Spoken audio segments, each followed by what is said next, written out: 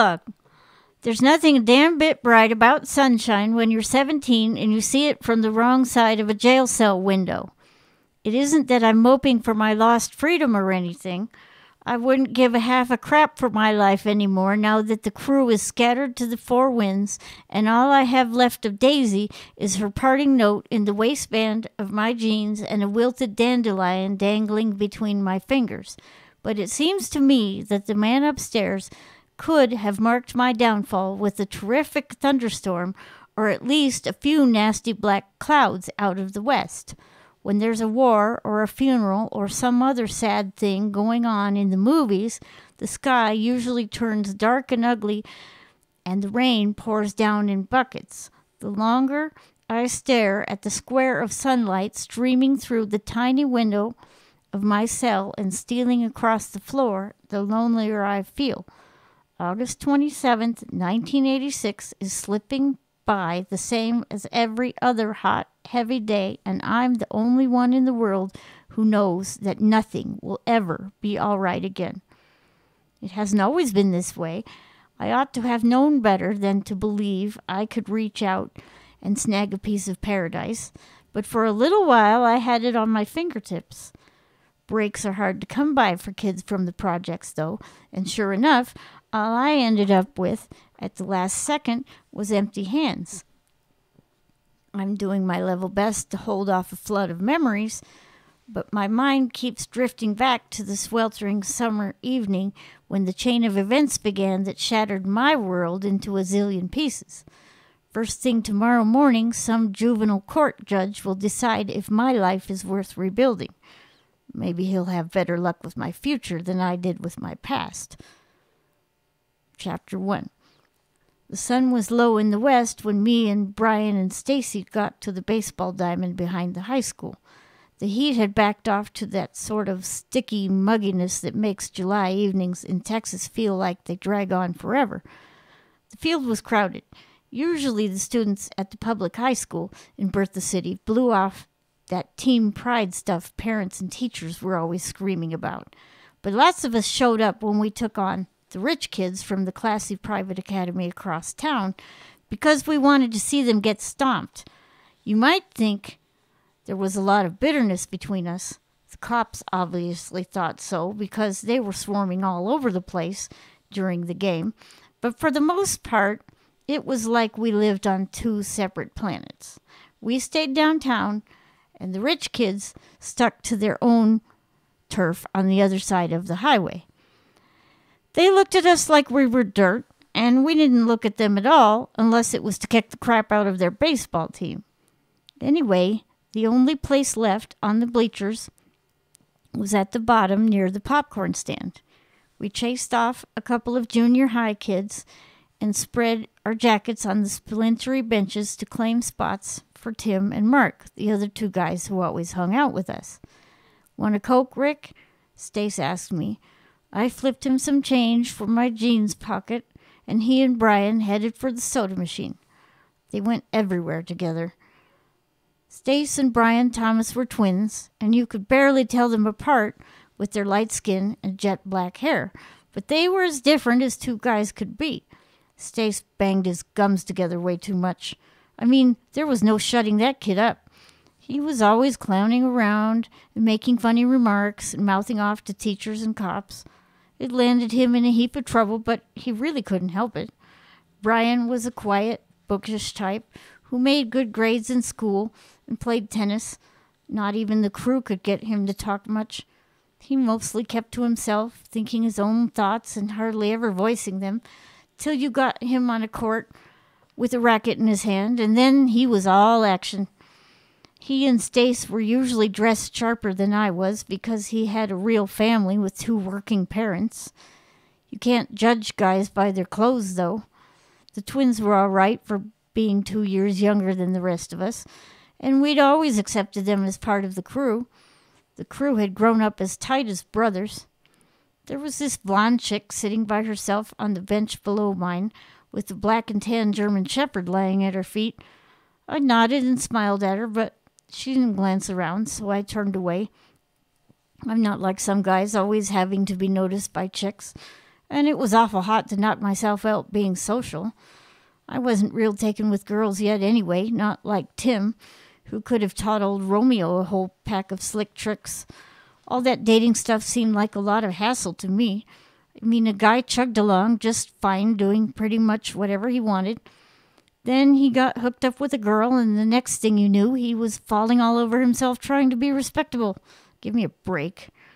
The twins came back with the drinks, and after a while, Tim and Mark joined us. Anyone need a cancer stick? Tim pulled a pack of smokes out of his pocket and passed it around.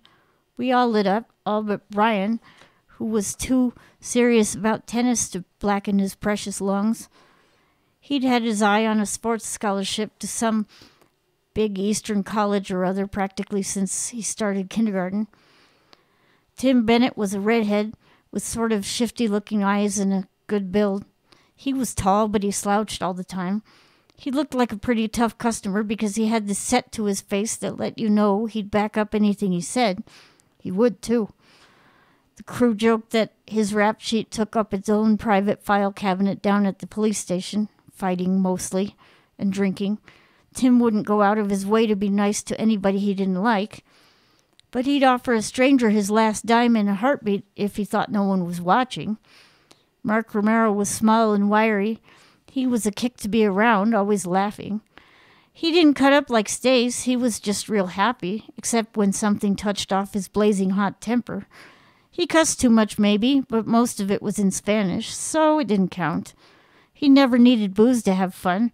He could get a thrill out of a scrap or a baseball game or anything else that happened to be going on. Hey, babe, Tim called to the little blonde. Your boyfriend's kind of hairy, ain't he? He wasn't always the nicest to girls at first, but he was a charmer once he picked them up, and for some reason, most of them would have followed him right into a burning building. She turned toward us. For your information, Captain is a guide dog. She was a cute girl. She had on a yellow dress that was snug around the middle with straps that went over her bare shoulders. Her awesome figure caught my attention first thing. But when I gave her a closer look, I noticed something funny about her eyes. They were sort of blank in her face. It wasn't every day you saw a chick with a dog at a baseball game, so we were all interested. What's a guide dog? Stace asked. Tim fired him a nasty scowl, and Stace decided to give up the floor. I can't see so he's trained to help me get around. It's really great because I can go anywhere by myself since I got him. She smiled, and she had the most knockout smile I'd ever seen. It lit up her whole face. He behaves himself so well, just waiting quietly for me, that sometimes people don't even notice him till we get ready to leave a restaurant or something. A sly look came into Tim's eyes, and I figured he was about to start in with his usual crap.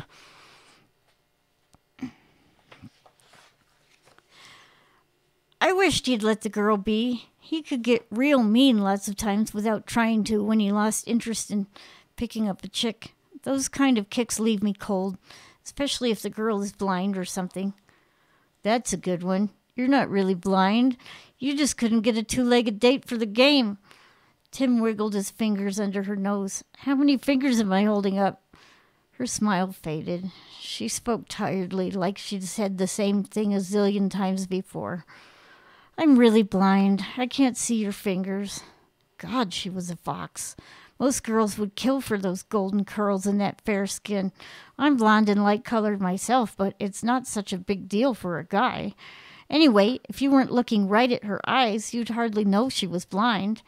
She was dressed too nice to be from the bad part of town, but not like a rich kid either, so I guess she must live in one of the middle class subdivisions out east. I wondered what she was doing alone in our neighborhood with night coming on. Tim moved close to her on the bench and laid a hand on her knee. Try to guess what I look like. I knew she was getting mad and scared by the way she clenched her bubble gum between her teeth. I don't know what you look like, and I don't care either. I know what you act like. Show off. That girl had nerve. Tim began to chant, tapping his finger on her knee. Three blind mice, three blind mice. Oh, that's original, she snapped. too cool, a babe with an attitude. He laughed and put an arm around her. That's the way I like 'em. Fear was plain in her face by then, but she held her head high. I heard her quick, shallow breathing as she tried to pull away. Take your hands off me. His grip on her tightened. Hey, boys, meet my main squeeze. Love is blind, you know. He snickered at his own joke. Oh, lay off, Tim, I said. What? He let go of her and stared at me, surprised. You heard me. I said lay off. A year before, he would have knocked me flat and not thought twice about it. I'd gotten to be a fairly good size, though, and no slouch of a fighter, and lately he wasn't too sure he was ready to take me on.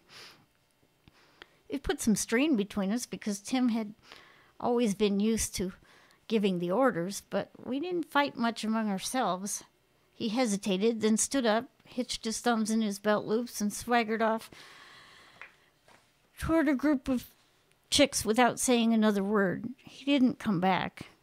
I turned to the girl. Don't take Tim too serious. He's a jerk sometimes, but he don't mean nothing by it.